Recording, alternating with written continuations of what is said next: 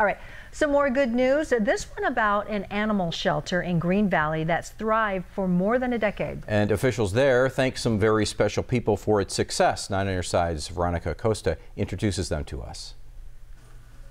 It's one of several animal shelters in southern Arizona, but what sets the Animal League of Green Valley apart isn't what they do, instead, who volunteers to help.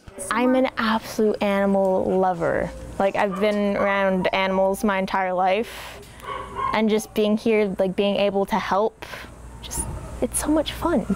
Jenny Chatterton is one of the many teenage volunteers who have continued to return to the no kill shelter year after year.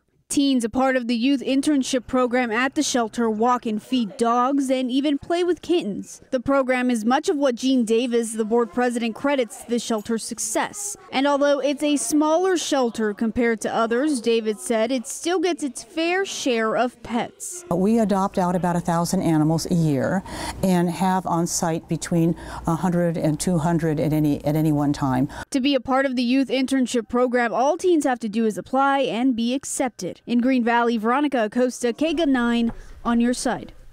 Great Good to see. them, yeah.